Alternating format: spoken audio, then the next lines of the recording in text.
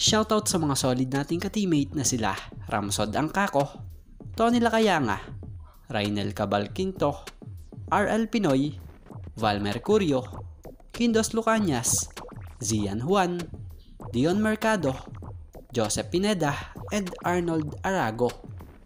Japan-Japan, hindi pinatulan ni Romeo. Devin Booker, eh este, Robert Bolick pala. Ayos na ang buto-buto. 13-year-old big man na anak ni Ranidel de Ocampo. Hahasain na sa US. And Kai Soto, nananatiling positibo kahit na umuwi na galing Belgrade, Serbia na walang panalo. So yan nga mga ka-teammate ang mainit-init pang balita na ating tatalakayin sa ngayon.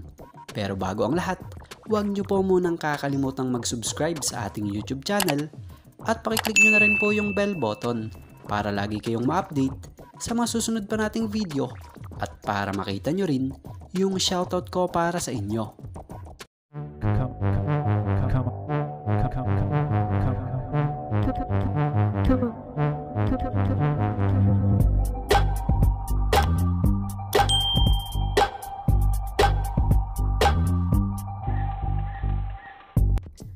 So simulan nga natin sa patungkol sa anak ni Gilas Pilipinas member na ngayon assistant coach na ng tropang giga na si Ranidel De Ocampo. Matatandang ng kapanahunan nga ni RDO sa PBA at sa koponan nga ng national team, isa ito sa mga forward na talagang mahirap tibagin at mahirap ring kalabanin. Kaya naman, tinagurian nga itong pambansang siko eh. Pero in other side, napakagaling naman talaga at husay naman talaga na manlalaro ni RDO.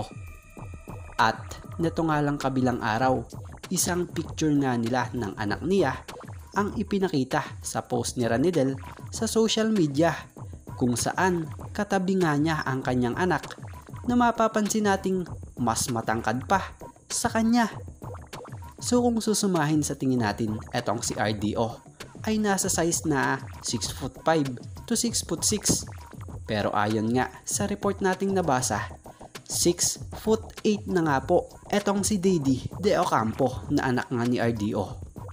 Kaya naman, ayon pa rin sa latest report dito, eh umaasa nga raw etong si TNT Assistant Coach Ranidel na mahahasa ang talento at magagamit ng kanyang 13-year-old, 6 foot 8 na anak na si Dady ang katangkaran na ipapadala nga raw sa United States upang doon mag-training. So bilang opinion nga natin dito, napakagandang desisyon nga na ginawa ni TNT Assistant Coach Ranidel De Ocampo para nga sa kanyang anak dahil talagang nais niyang maging mahusay rin talaga ang kanyang anak sa paglalaro at suportado pa nga niya talaga ang hilig rin ng kanyang anak. At ayon pa nga sa nakalapan nating impormasyon about sa 6 foot 8 na 13 year old na anak ni RDO ay ayon nga kay Hodor eh naglalaro nga rin ito talaga ng basketball. Nung last December nga lang raw, 6 foot 2 lang ang batang ito. Pero ngayon ay grabe na ang itinaas pa dahil 6 foot 8 na nga ito. At sa mga hindi nakakaalam, ang anak nga ni RDO na si Dady, nagsimula nga ito maglaro ng basketball at the age of 10 kung saan may taas lang ito na 5 foot 7. Pero kung tutuusin, ang laki na niyan para sa ganyang edad. Kaya naman ngayon ng 13 year old na si Dady at may taas na nabiyayaan siya ng taas na 6 foot 8 ay sana pagdating ng araw, isa na rin siya sa mga maging big men ng national team para sa Gilas Pilipinas. At sigurado, mas tataas pa nga ang batang ito. Baka nga ito na ang susunod na kay Soto.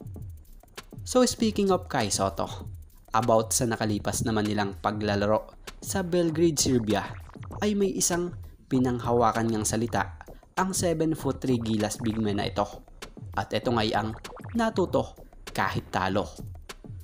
Ayon nga sa ilan, sa pagkakaintindi natin sa naging karanasan ni Kai at patungkol nga sa pahayag nito, nananatili nga raw etong si Kai na positibo sa kanyang naging karanasan sa katatapos nga lang na torneo. Ayon nga sa naging pahayag ni Kai Soto, It's either you win or you learn.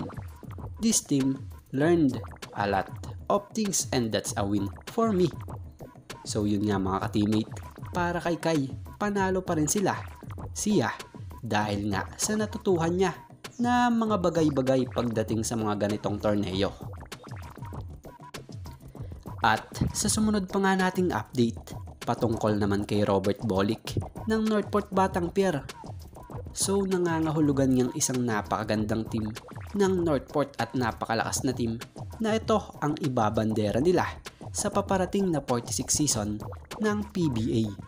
Bukod nga sa mga bagong player ng Northport at ilang mga bagong bigman nito, ay nagdating na nga rin at nagbalik na ang isa sa mga inaasahan din ng kampo para sa pagiging asintado na si Robert Bolick na ngayon ayos na nga ang buto-buto matapos noong tamaan ng knee injury noong 2019 PBA season sa Governor's Cup. At matatandaan nga rin hindi rin ginamit si Bolick nung nakaraang 2020 season ng PBA dahil sa kailangan pa nga nitong ipahinga pa ang nakalipas na tong injury. Kaya naman ngayon ngang paparating na muling pagbubukas ng 46 season ng liga ay mukhang napakalaki na talaga ng tsansa niya na makapaglaro muli sa koponan niya dahil since nga ng payagan ng PBA na mag-scrimmages sa kalagitnaan ng Mayo ay nakasama na nga ang nasabing manlalarong ito sa lugar nga ng Batangas. At isa nga sa magpapatunay dyan ay itong isang video clip niya na inilabas sa kanyang Instagram post kung saan makikita natin na umatake siya mula sa sentro ng 3-point area. At sa pagpasok nga ng bola kita nating napahiga siya at mala Devin Booker ba ng Phoenix Suns. At sa post niyang ito nilagyan niya pa nga ito ng off the finals. So ito na kaya mga ka-teammate ang senyales ni Bolick na madadala niya nga rin ang Northport Batang Pier sa finals galing sa pagbabalik niya sa koponan kaya naman yan nga ang kaabang-abang at sa last naman nating topic, Terence Romeo ayaw kahit malaki ang offer sa kanya ng liga sa Japan. Ayon nga sa latest update nating nabasa na pinost nga ni Basketball Republic na galing sa source na si Snowbad Wachuks Tugo Pilipinas. Credit po nakasaad nga rito. Breaking Snowbomb. Terence Romeo is being offered by a team at Japan B-League. First year, $50,000. Second year, $75,000. Third year, $100,000. Romeo declined the offer because he is committed on playing for Boss RSA and wants to show his depth of gratitude him.